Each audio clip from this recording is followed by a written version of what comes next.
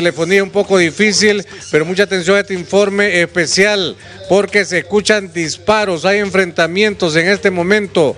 Voy con usted, Zuli Calix. Así es, abogado Pablo Gerardo Matamoros, televidente de Hable como habla televisión digital, como lo hemos mencionado, esta es una operación en curso que se está desarrollando y en estos momentos lo que nos han informado es que eh, varios pobladores de este sector pues están eh, tratando de bloquear lo que es el acceso para la salida de las personas que han sido detenidas.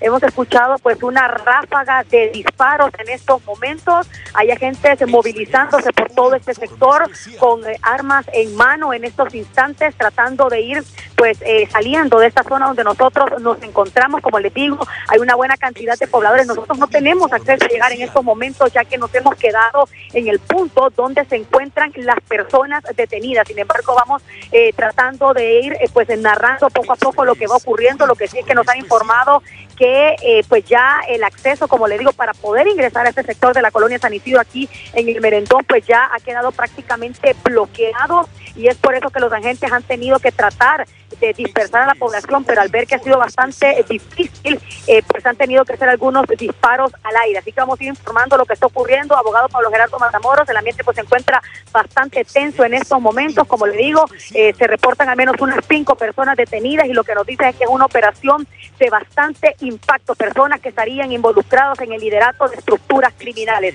Así que nos mantenemos siempre expectantes de poder informar eh, pues de todo lo que va ocurriendo en este sector de la San Isidro aquí en el sector de la montaña del Merendón. Abogado Pablo Gerardo, siempre obviamente con la precaución necesaria para poder informar de los hechos al estilo de Hable como habla televisión digital. Voy con usted nuevamente. Bueno, muchas gracias y regresamos hasta los